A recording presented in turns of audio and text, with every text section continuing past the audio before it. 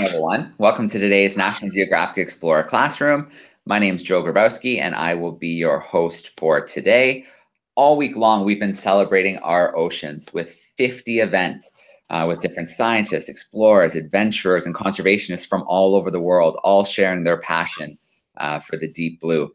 It's been a pretty great week. Today's World Ocean Day, so it'll be our final day of events. Um, but it's been a lot of fun, and you can catch up on a lot of our events on the National Geographic Education website or the Exploring by the Seat of Your Pants YouTube page. So I'm so excited today uh, to be joined by our guest, Dr. Enric Sala.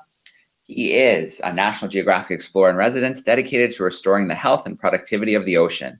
He's currently working to help protect the last pristine marine ecosystems worldwide and to develop new business models for marine conservation. He founded and leads National Geographic's Pristine Seas, a project that combines exploration, research, and media to inspire country leaders to protect the last wild places. So it's live, guys. Um, our Pristine Seas has helped create the largest marine reserves on the planet, covering an area of over four and a half million square kilometers. So just before we meet Enric, I'm going to share the National Geographic's Mapmaker Interactive so we can all get an idea of where everybody's joining us from here today. So you should see my screen now, and I'm bringing up the map maker. And here's me. I'm in Guelph, Ontario, just outside of Toronto here in Canada. We've got a group joining us close by in Kitchener, Ontario. And if I back out just a little bit more, we've got a group in Charlotte Lake, groups in New York uh, and New Jersey. Enric's joining us from Washington, D.C. at National Geographic headquarters. And if I pull out one more time, we've got a group joining us up here in Calgary, Alberta. So that's enough out of me. I'm going to stop my screen share. Enric, it is so great to have you uh, us on World Ocean Day. We're very excited to hear some more about pristine seas and some of your adventures around the world. Yeah, thank you, Joe. Hello, everyone. Um, I can hear an echo. Can you? Okay. Hello, everyone. Happy Oceans Day, everyone. Um, it is great that we have one day to celebrate the ocean, but unfortunately, that's not enough. I think we should celebrate Ocean Day every day. We should celebrate Earth Day every day, right? Because without the Earth, without nature, without the ocean, we would not be here. Humans could not exist on this planet. And there are many things I'd like to talk to you about, but today I'm going to tell you about the work that we are doing at National Geographic to help to preserve the ocean. And uh, raise your hand. Who is uh, who likes to snorkel? Good. Uh, how many of you has actually been able to scuba dive already? Ah, you are two. Oh, a couple people. Wow, you started much earlier than me. You know, I had to wait until I turned 18 to be able to scuba dive. But I'm glad that you guys are already onto it. Okay, so I'm going to share my screen, and I'm going to start telling you my story and what we do at National Geographic to help to save the ocean.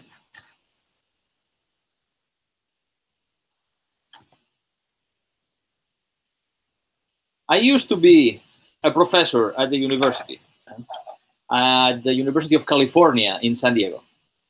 And my job was to teach, but also to study the impacts of humans in the ocean, the impacts of fishing, the impacts of climate change.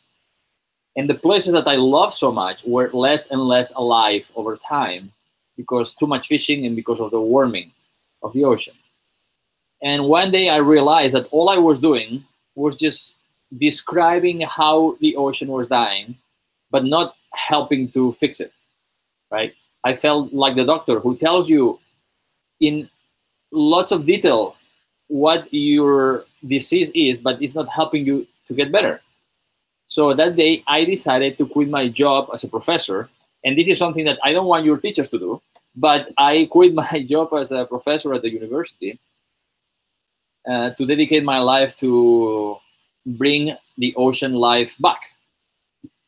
And while I was at the university, one day I went to this place in Mexico. There is this little place uh, in the Sea of Cortez, in the Gulf of California in Mexico, called Cabo Pulmo. When we went there in 1999, the place was an underwater desert.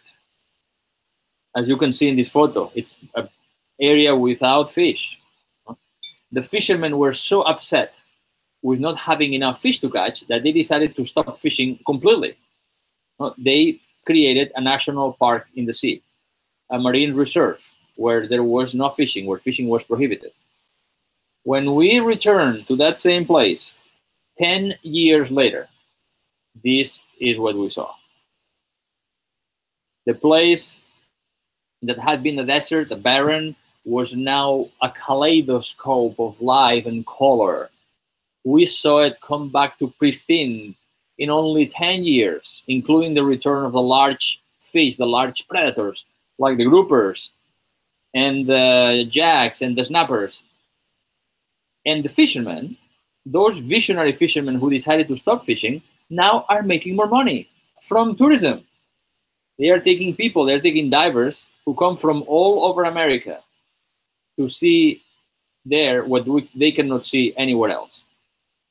So this example of this marine reserve showed very clearly to me that if we protect ocean places, the ocean comes back. And the ocean can come back spectacularly. So after I quit my job at the university, I came to National Geographic and I proposed something to them, a bold idea, pristine seas, a project to help to save the last wild places in the ocean before it's too late. But instead of telling you, I better show you a video. I'm going to show you a reel that shows what we have been doing for the last 10 years, and then I will continue my explanation.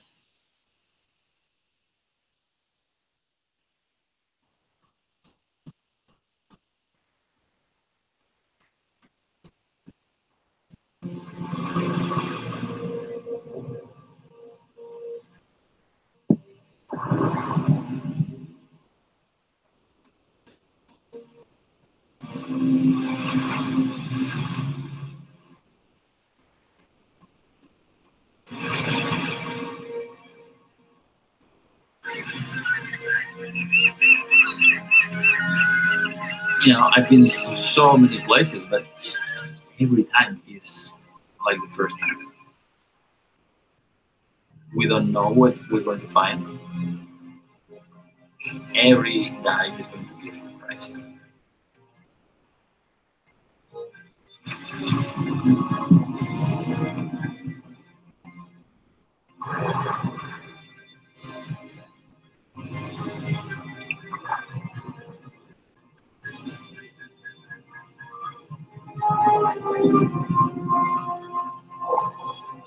It's like being in an IMAX theatre with everything you ever wanted to see underwater just whizzing past you.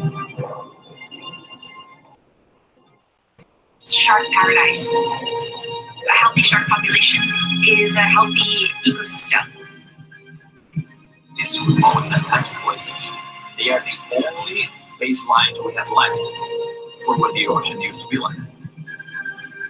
They are like the instruction manual of the ocean.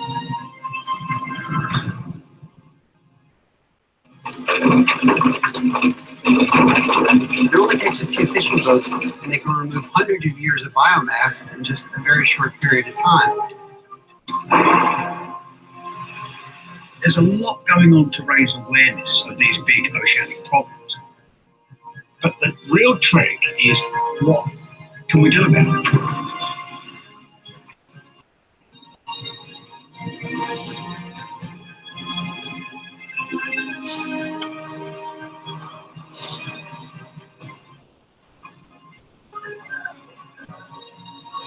to commit 40% of their exclusive economic zone. Todos los parques y áreas marinas protegidas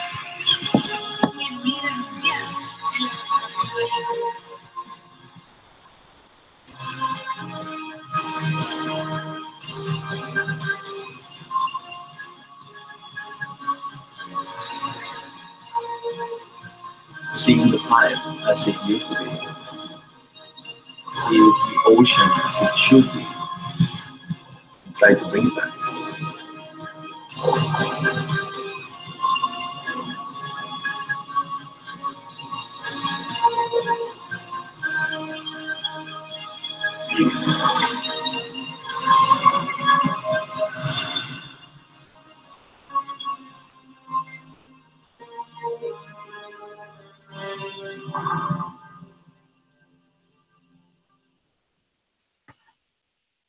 Okay, I hope you guys enjoyed the video. This is what we do. This is what we have been doing for the last 10 years.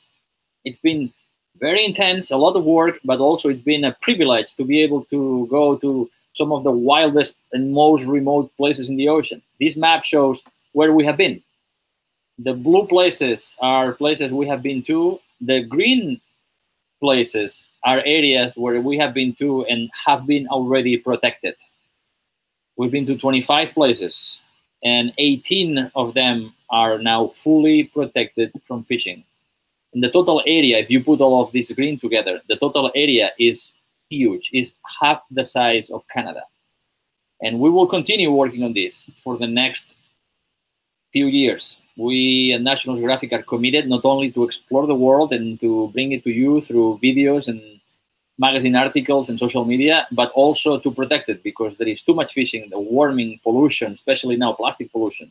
So we all need to work together to save as much ocean as possible because our lives depend on it. And we have been to amazing places like this one in the Russian Arctic. We were the lucky ones who were welcomed by the Russian government to do an expedition to their Arctic coast. This is a place called Franz Josef Land. is the most, the northernmost group of islands in the world, and now is protected. And we've been from the Arctic to the tropics. This is, to me, the perfect image of the coral reef, the virgin, healthy coral reef, where the bottom is covered by live coral and the waters are full with predators like these sharks. And we've been diving in majestic forest of algae. These are giant kelp. These seaweed grow 60 foot in, in height. You are at the bottom at 60 feet and the plants get all the way to the surface. And these protected areas are also good for the fishermen because when you don't kill the fish, what happens? They take a longer time to die.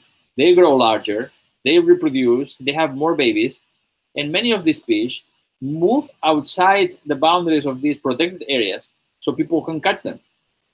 And also, it's good for tourism. These are Japanese diver in a protected coral reef in a small country called Palau near the Philippines in the Western Pacific. People go to places where they can see wild nature. People don't go to dead places. So these uh, protected areas can bring a lot of jobs and money through tourism. This is what we do. This is what uh, our goal and our mission is to keep these places protected and to bring back as many places as possible. And there are many, many things I would like to tell you, but I just want you guys to have an idea of what we do. So now we can have a discussion because I'd love to hear what you're thinking. You know, what uh, what has been your experience with the ocean? And I bet you have many many questions. All right, Enric, thank you so much for sharing with us today. You really made me wish I had my scuba gear handy today, but uh, a little landlocked here in Guelph, Ontario, unfortunately. All right, well, let's meet some of our classrooms and let's get some questions. So let's open up the first mic. We are going to go to Let's see. Let's go to Sherwood Park, Alberta first. We have grade fours joining us with uh, Mrs. St. John. Let me turn her microphone on. Looks like a big group. How are we doing, grade fours? Good morning. Unfortunately, we're in the middle of a hailstorm and we can't hear you. So we need to go to someone else first. Okay, we'll come back to your class then. All right, they're not ready, so we'll come back. Uh, let's go to Mrs. Rennick's class to get things started. Let's go uh, to grade sixes in Pennington, New Jersey. And let's see how loud they can be this morning. How are we doing, grade sixes?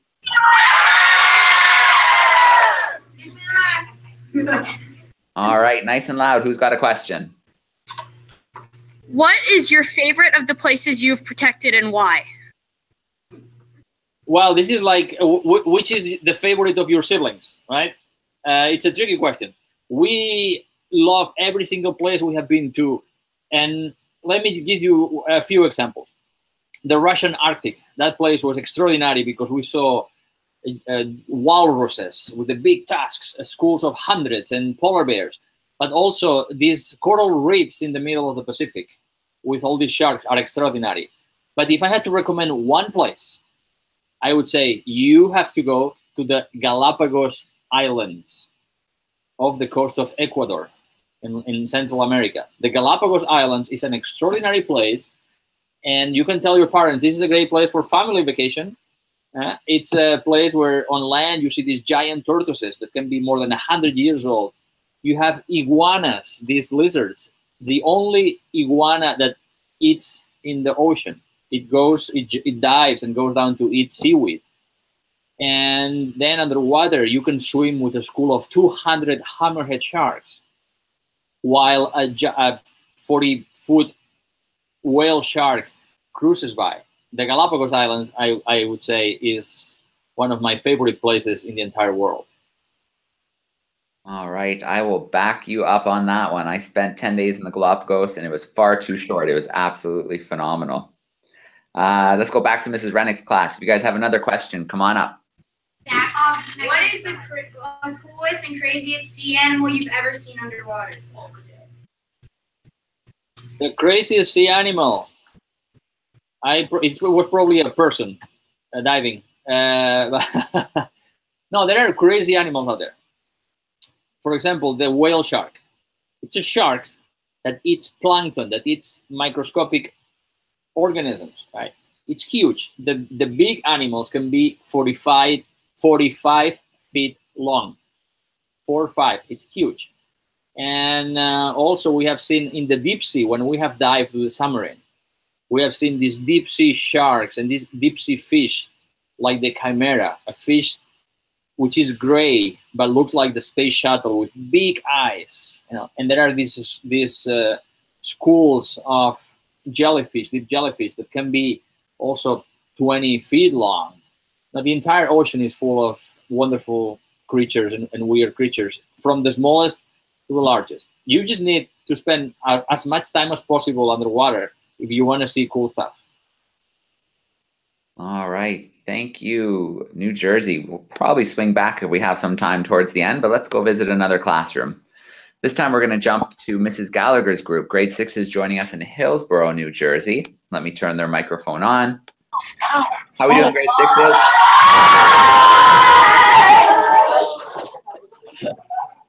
All right, who's got a question? All right, who's got a question? Okay, go. Yeah, probably a little closer so that way they can hear you. Right here, good. Do all of your protected areas have people living near them?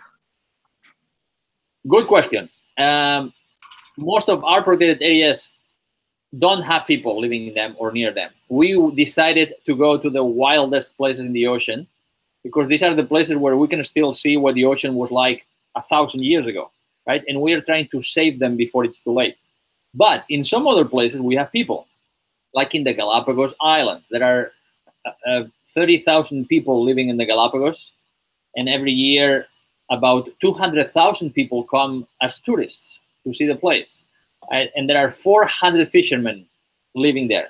So we are working with the National Park of the Galapagos to make sure that the fishermen fish sustainably in only in parts of the reserve and making sure that they don't uh, damage the local environment. But as you can imagine, the more people you have, the less fish you have, and the more difficult it is to protect the place. All right, and the microphone's coming back on if you guys have another question in New Jersey. You have another one? I like your sea turtle on the on the wall. I can see it in the Oh, background. That, yeah, we love our sea turtles. Come on up. Yeah, because the camera's right here. All right, guys, try to tuck in so she can come through. Thank you. Um, where was the most dangerous place you've been to? The most dangerous place. Um, you know what? When we go on expeditions, we, you know, to go on an expedition, I am home. I take, I take a cab to go to the airport, right? I get on a plane to go to a place. Then I get on a boat. Then we go to a place from with a boat. We dive, and we dive with lots of sharks, right? Or sea snakes, or giant manta rays. And people ask me, "Oh, are you afraid of the sharks? Are the sharks dangerous?" Actually, guess what's the most dangerous part of the entire expedition? The cab ride from home to the airport. That's the most dangerous part. You are more likely to have an accident on the road than diving with sharks. So really, uh, li- diving with marine animals is not is not uh, dangerous. Jellyfish are dangerous, right? There are these big jellyfish that can sting you, and that's pretty painful. But uh, do you know how many people? Yes, you can. You can use you. Yeah, yes, you can write it down or use your hands to tell me how many people are killed by sharks every year around the world. Two. You have two there. Well, anybody else? Five. That's pretty good. Yeah, you guys are pretty good. You are very well. Uh, you are very knowledgeable. Around the world, every year, only five people on average are killed by sharks. You know, that's less people than the people who kill themselves taking selfies last year. Yes, you laugh. You all take. You love to take. You are young guys with the phone, and you like to take selfies. So people fell off balconies, stairs, etc. So 15 people killed themselves taking selfie. That's three times more than people killed by sharks. So you tell me what's dangerous: the shark or your or your smartphone? Thank you. So careful with your smartphone. All right, that is such a good point. I, you know, you look at the statistics, and it's uh, the sharks should be afraid of us. Seventy-five to one hundred million a year we take out of the ocean. They should definitely be afraid of us. Right. All right. Well, let's jump to another classroom. Let's go to uh, Mrs. Gale's group this time. We've got grade seven and eight students in Charlotte Lake, Ontario. And Mrs. Gale, uh, you'll just have to turn the mic on for me.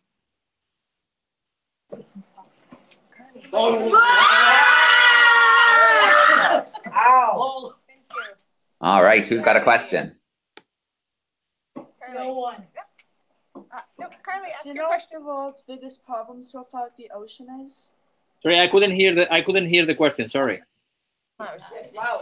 Do you know what the world's biggest problem with the ocean is? Yes, it's us. It's people. It's people. But there are three main things we are doing to the ocean. One, we are taking fish out of the ocean faster than they can reproduce.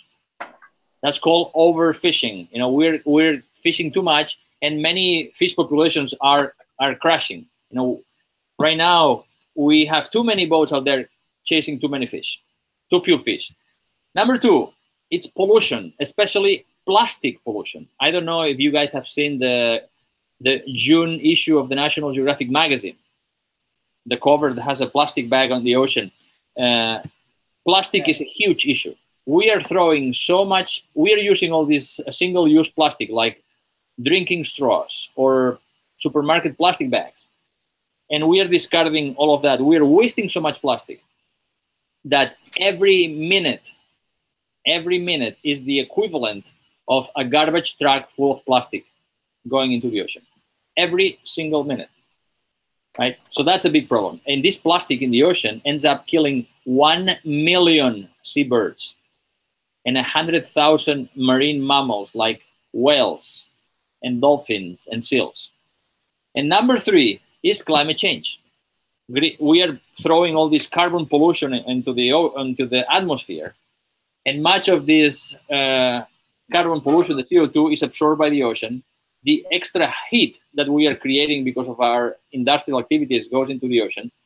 So this uh, warming of the waters of the ocean is melting the ice in the Arctic, and it's killing coral reefs all around the world. So these are the three main problems. But the, the number one problem is us. We are just being too destructive to our planet, to our home. All right. And that issue that Enric's talking about, I have it right here. This is the latest issue. See, it kind of looks like an iceberg. 18 billion pounds of plastic a year into our oceans. That's crazy. Um, Mrs. Gale's group, go ahead with another question if you have one. To get to your position, did you guys have to study zoology? Oh yes. So well, we have to study a lot. So you, you guys make sure that you continue st studying hard. I had to. I studied biology first, and uh, I studied back in Barcelona in Spain. And back then, we had to study botany, plants, you know, zoology, genetics, microbiology, geology, math, physics, chemistry. So I had to study all these basic scientific uh, disciplines to have a little knowledge of uh, about everything. And then I specialized in marine biology uh, and oceanography. But absolutely, if you want to have a job of explorer or marine biologist, you need to know your marine animals. So zoology is a absolute necessity. All right, let's take a quick trip to Waterloo, Ontario. We have a couple students joining us. Uh, let me turn their microphone on and see if they have a question today. Um, there isn't protected ocean in Canada. How can we change that? Canada, you are absolutely right. Uh, very little of Canadian waters are protected. The government, the current government, the Trudeau government, uh, said that by 2020, 10% of Cana Canadian waters are going to be protected. I hope it's true. But the best thing you can do is to uh, write a letter with your friends and send it to the Minister of Fisheries, Mr. Dominic LeBlanc, and another one to uh, Prime Minister uh, Justin Trudeau. And uh, organize as many schools as you can in Canada, right? Use your skills and connections with the social media to make sure that the Minister of Fisheries, the Minister of the Environment, Catherine McKenna, and the Prime Minister, they all hear from the children of Canada, telling them, we want more ocean protection. We want uh, less destructive fishing and more ocean protection.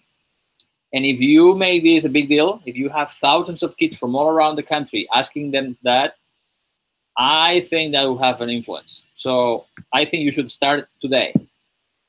What about that? That's good. All right. And before we jump to our next class, do you guys have another question or should we go to the next group? Um, how can we help with your work? Sorry, I didn't understand the question. Sorry. How can we help with your work? Uh, uh, Sorry, can you? I, I, the connect, the sound is really bad. Yeah, that's okay. She's wondering how can how can they help with your work? How can students get more involved with Pristine? Oh, great. Yeah. Yes. No. Well, there are many things you can do, but one I already said. You should have your class, and then as many classes in schools around the country to send letters to the ministers and the prime minister, telling telling them that you want more ocean protection. But then the plastic issue. This is something that everybody can do something about. The plastic pollution is a real serious threat, not only to the ocean, but ourselves. Because the fish are eating plastic now. You know, and we eat fish. So you know where the plastic ends up, right? We are we are ending up eating the trash that we throw into the ocean. But we cannot see it. But we are doing that already. So make sure that you and your family and your friends don't use single-use plastic. Supermarket bags, say no. Plastic straws, say no. Water bottles, plastic bottles, say no. Make a petition, sign a letter to your mayor, the mayor in your town, saying we don't want plastic bags and plastic straws. You should ban, ban them now. India has committed to getting rid of all the single-use plastic in a few years. There are countries like Chile that has already prohibited plastic bags. So, you know, if the children of the country tell the leaders, stop, we want this to happen, you guys can have an influence, but we need as many of you as possible. Hmm? So that's the two things I would do. More protection of ocean and, and let's ban, let's prohibit single-use plastic that is so bad for the ocean. All right, some great advice for students to get started to try and make a difference. So let's jump to our group in Alberta this time. Uh, turn the microphone back on and see how they're doing. How's everyone doing over there? Good. All right, do you have a question for us now? Anybody have a question? Uh, sure, go ahead. Yeah. Just sit right there. Right there. How deep did you dive? Well, um, it depends. If I am scuba diving, right? If I have a, a, a tank on my back and I am breathing underwater, the deepest I have been is 300 feet. We're using special equipment. But then we also use submarines that allow us to go deeper. So with the submarine, I have been to 500 meters, at 1500 feet. But then we have these special cameras.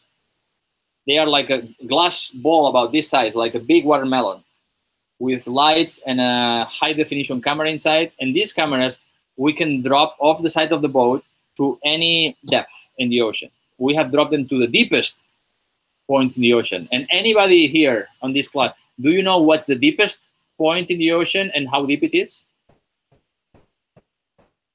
Anybody? Go ahead. That, that, that girl with the glasses on the, on the back. All right, your mic's on.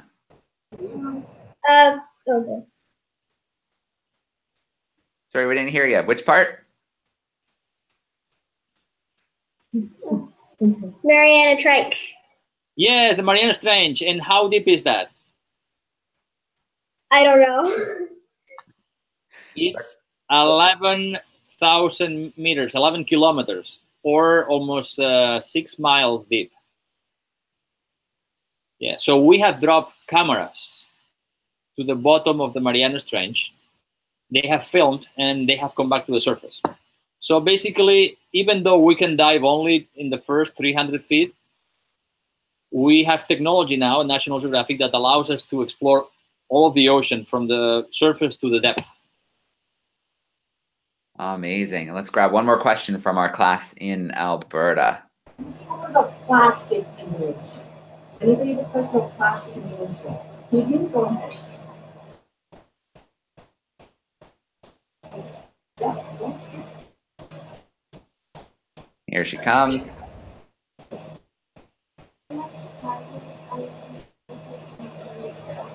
Don't be shy, don't be shy. I cannot hear you. Nice and loud. Okay.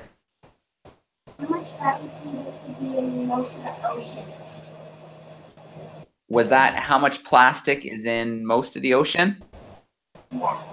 Yes, that's what she asked. Okay, there is a lot of plastic, too much plastic. As I said, we are throwing so much plastic into the ocean that that's the equivalent of one garbage truck full of plastic every single minute. Imagine that every single minute, every hour, every day. It's crazy. So much plastic. It's 8 million tons of plastic every year. And we have plastic everywhere in the ocean.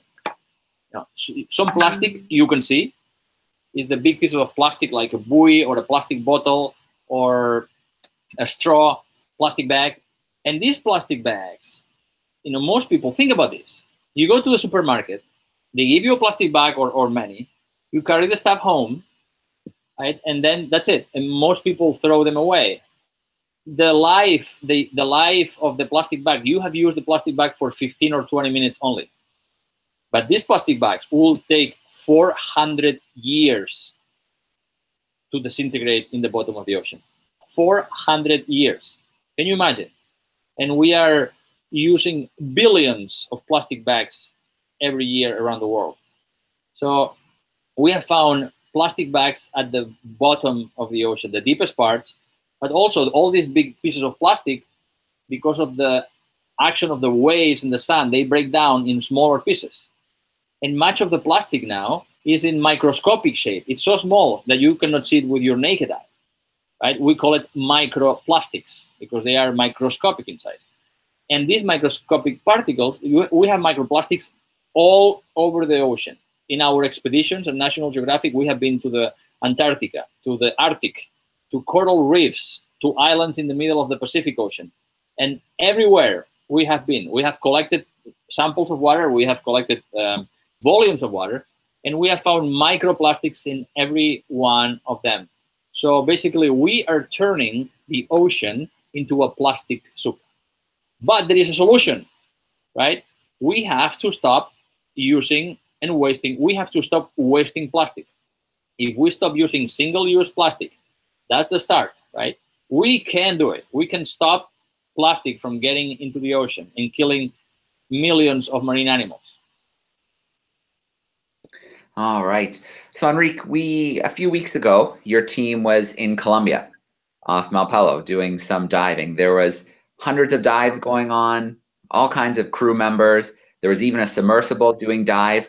How long, how complicated is it to plan one of these expeditions? Oh, that's uh, very, very complicated. And some countries are more difficult than others. But first, we need to choose. For example, let's go to Colombia, right? There is an island called Malpelo off the Colombian coast in the Pacific Ocean. Okay, so we want to go. We need to choose the first uh, season, the first, uh, the best time of the year. You know, we don't want to go during hurricane season, right? We want to go when the weather is good. And we have to start planning one year in advance. We have to find a ship. National Geographic doesn't have uh, research boats. So we need to find a research boat, right? Or, or a diving boat that is going to take us there. So we have to identify the boat, and then we have to um, talk to these people and, and have a you know, charter that boat. Then we have to ship all of our gear on a big shipping container ahead of time, so we can put it in the boat. Then we have to uh, contact local scientists, local experts who are going to come on the expedition. Then we have to um, apply for permits from the Colombian government, for example, in this case, right? And that's a lot of paperwork. We have to uh, tell them what type of research we're going to do, what type of filming we're going to do. And usually it takes months to get a permit from a government. It, there is a lot of bureaucracy, right? So when we have all of that, then, and that takes months, then we have to do research. We have to go uh, to the library or online and read everything that has been written about that place, all of the scientific research that has been previously done for that place. In many places, there's not much, but we need to know what's been done so we can know what we need to know, right? What, what is the, the going the research uh, that we're going to do. So there's a lot of pieces. Huh? And then we go on the expedition. We have a great time. We wake up at seven in the morning, have breakfast, do two dives in the morning, come back for lunch, another dive in the afternoon, come back, uh, rinse the equipment, charge batteries, enter the data on the computer, edit photos, have dinner, and collapse because we are exhausted. And that's for periods of weeks, you know, two, three, four, five weeks. Then we return, we have to pack everything back, ship everything to the next place we're going to dive. And then everybody goes home and we have to analyze the data, write the scientific reports, uh, write the uh, articles for the magazine, produce the films. We have 100, 200 hours of footage, but then we have to make the films, right? It takes uh, between three and six months to produce a one hour show for National Geographic. And we do that four or five times a year. We go to four or five different places. So it's a, it's a big job. Uh, we don't have much uh, free time, uh, but we have, and our team is small. You know, Pristine Seas is only 25 people but we have to learn to be very efficient. But the most important thing is that everybody working on our project, they are not working with us because they need a job. They're working with us because this is their dream job. They work with Pristine Seas, with National Geographic, because this is a passion project, a passion job. These people are the happiest people, the happiest worker you will ever see.